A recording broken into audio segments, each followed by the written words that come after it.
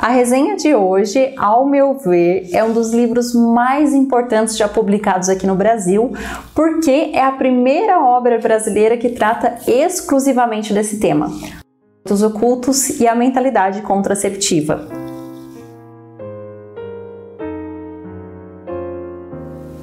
Se você é inscrito há mais tempo neste canal, já deve saber que tem vídeo aqui sobre esse assunto ocultos.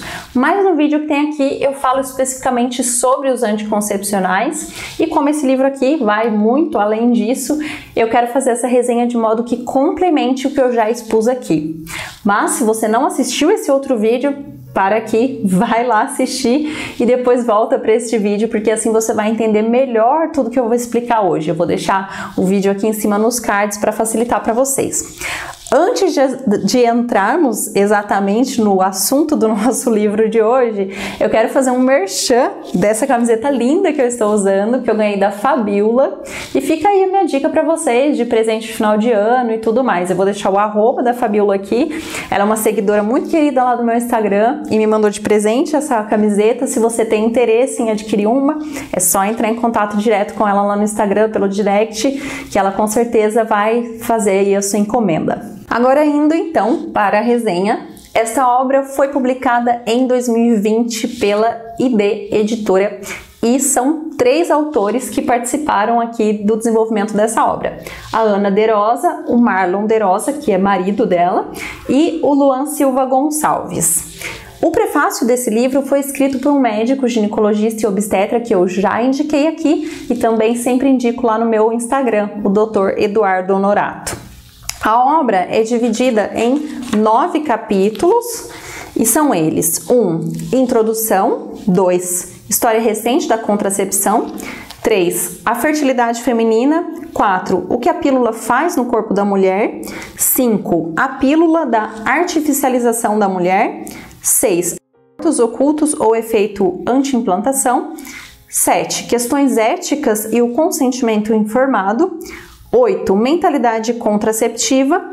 E 9. Considerações finais. O livro começa então explicando a história recente da contracepção. E por que história recente? Porque, de certa forma, os seres humanos sempre deram um jeitinho para evitar ter filhos, mesmo que de forma mais rudimentar e pouco eficiente. Mas é a partir do século XX que o movimento de controle populacional se une com ideologias políticas e eugênicas, ganhando então uma força muito mais robusta. Poderíamos dizer que aquela ideia de que enfrentaríamos uma terrível escassez de alimentos devido ao crescimento da população, ideia que surgiu lá com Thomas Malthus, foi se desenrolando, se desenrolando, se desenrolando, até descambar no movimento eugênico. A eugenia, creio que vocês já sabem, é aquela ideia de limpeza social, ou seja, é a crença de que se deve eliminar pessoas consideradas inaptas, né, da sociedade, para que a gente possa evoluir, para que a gente consiga ter uma raça mais pura. Para a maioria dos eugenistas, os inaptos são os pobres, os deficientes físicos e mentais, os negros. Bem, aqui na página 34, nós vemos um grande exemplo disso. Tem um subcapítulo chamado O Advento da Pílula, e aqui é mencionado todo o processo de desenvolvimento até a comercialização da pílula anticoncepcional que nós encontramos hoje nas farmácias, né? E diferente da narrativa feminista, todos, absolutamente todos os envolvidos no desenvolvimento da pílula anticoncepcional eram homens, homens cientistas com viés eugênicos. E um desses é, homens, desses cientistas, era o Dr. Ludwig, que está aparecendo aqui do lado para vocês. E aqui na página 34, ele diz que os pais deveriam ter a possibilidade de ter o número desejado de filhos saudáveis, deixando claro que a contracepção deveria ser usada para fins clínicos e eugênicos. Além da eugenia, como eu já disse, as ideologias políticas também tiveram um papel bem importante em tudo isso. O marxismo, por exemplo, foi o solo fértil para que o feminismo brotasse. Marx, Engels e outros comunistas já difundiam a ideia de que a mulher era uma classe oprimida na estrutura familiar e que para, para que ela ficasse livre, né, ela deveria se retirar do núcleo de opressão, ou seja, se retirar da família. Tem duas citações que deixam isso bem claro aqui. Uma é na página 23 e outra é na página 144. Vamos ver primeiro o que Lenin disse sobre essa questão da mulher. Abre aspas. Fazer a mulher participar do trabalho produtivo social, libertando-a da escravidão doméstica, libertando-a do jugo bruto e humilhante, eterno e exclusivo da cozinha e do quarto dos filhos. Eis a tarefa principal. Essa luta será longa, exige uma transformação radical da técnica e dos costumes, mas levará finalmente à vitória completa do comunismo. E agora vamos lá para a página 23 ver o que disse é, Sulamit Firestone, né, uma feminista também muito conhecida, escreveu o livro A Dialética dos Sexos. Abre aspas. Para assegurar a eliminação das classes sexuais, é preciso a revolta da classe baixa, as mulheres, e a tomada do controle da reprodução, a restituição às mulheres à propriedade dos seus próprios corpos, como também o controle feminino da fertilidade humana. E mais à frente ela continua. A meta final da revolução feminista deve ser, ao contrário da meta do primeiro movimento feminista, não apenas a eliminação do privilégio do homem, mas também da própria distinção sexual. As diferentes genitais não mais importariam culturalmente. Fecha aspas. Em uma outra parte aqui do livro, Sulamit Firestone ainda diz que a libertação das mulheres da tirania de sua biologia reprodutiva, dizendo que a fertilidade era um problema, né? E bom, de fato, hoje a fertilidade é vista como uma doença que precisa ser tratada medicamentosamente. Assim que uma moça tem a menarca, ela é levada ao médico e ele, sem demora, prescreve uma droga sintética que ela deve tomar durante anos e anos da sua vida. As feministas divulgam a pílula e demais métodos contraceptivos como conquistas maravilhosas para as mulheres. Mas, como vimos, os maiores interessados no controle de natalidade eram, na verdade, homens. Diferente do que dizem as feministas, a tão sonhada igualdade e a eliminação das distinções sexuais, como vimos Sulamit estão dizendo aqui, que foi alcançada de fato com a contracepção e a revolução sexual de modo geral, não parece ter beneficiado muito as mulheres. Aqui na página 146, nós vemos uma citação do jornal American Economy Journal. E esse estudo que é citado aqui mostra que atualmente as mulheres se consideram mais infelizes do que na década de 70, por exemplo. Período esse que foi praticamente o estopim da revolução sexual. A, interpreta a interpretação feminista de mundo, né, de como se dá o relacionamento entre homens e mulheres é muito limitada. Elas acham que é possível modificar a mulher e deixá-la igual ao homem. Porém, como elas não conseguem entender que homens e mulheres são complementares, não conseguem também perceber que ao modificar o comportamento feminino, elas também acabam modificando o comportamento masculino. Então, cada vez mais as mulheres reclamam de homens infantis, de falta de responsabilidade, de falta de comprometimento. Aliás, as feministas são as primeiras a gritar aos quatro ventos desse mundo, né? Que existem muitas crianças sem o nome do pai do, no RG. E elas acham isso um absurdo, e de fato é um absurdo. Mas o que elas não conseguem perceber, não passa pela cabeça delas, é que a revolução sexual, que elas tanto enfatizam e defendem, potencializa esse tipo de comportamento. Veja, antes do, do controle de natalidade, né, dessa divulgação de controle de natalidade, as mulheres escolhiam muito bem as pessoas que iam se relacionar sexualmente, pensando também se esse homem seria um bom pai. Mas hoje elas não fazem mais isso e, consequentemente, se relacionam com homens indignos de, de serem chamados de homens, né? Aqui na página 25 tem uma explicação muito boa sobre isso, que eu gosto bastante e eu quero ler para vocês. Diz assim: Abre aspas. A partir do contexto histórico do último século, é possível ver que a busca da revolução cultural e sexual não visava simplesmente dar condições para que a mulher pudesse trabalhar ou regular a maternidade, mas romper com a difer diferenciação entre homem e mulher através da negação da fertilidade, como se ela fosse a grande causadora de conflitos. Em termos antropológicos, percebemos que essa perspectiva revolucionária produziu efeitos profundos na mentalidade das gerações mais recentes, perdendo-se de vista a ideia central da nossa existência de que, mais do que termos um corpo, nós somos um corpo. O corpo feminino expressa uma necessidade ontológica de abrir-se e acolher a vida. E mais à frente, ele continua e diz o seguinte: se não é necessário seguir a lógica inscrita no corpo, o homem também perde sua posição e, ao invés de um defensor e doador da vida, torna-se um tirano e dominador, ou então um fraco e covarde. A perda dos sentidos dos corpos, tanto feminino quanto masculino, também culmina na questão de gênero. Afinal, ser aquele que doa ou aquele que acolhe não mais representa nada.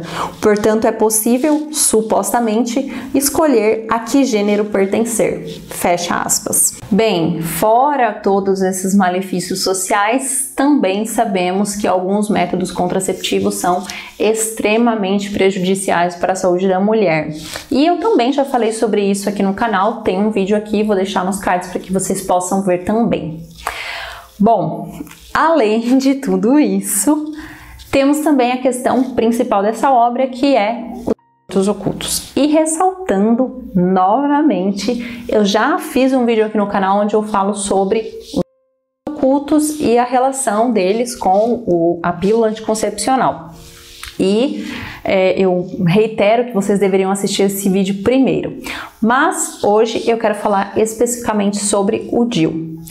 Muitas mulheres e médicos consideram o DIL um método queridinho pelo fato de que ele não possui hormônios sintéticos ou possui pouca quantidade de hormônio sintético, no caso do Dilmirena, né?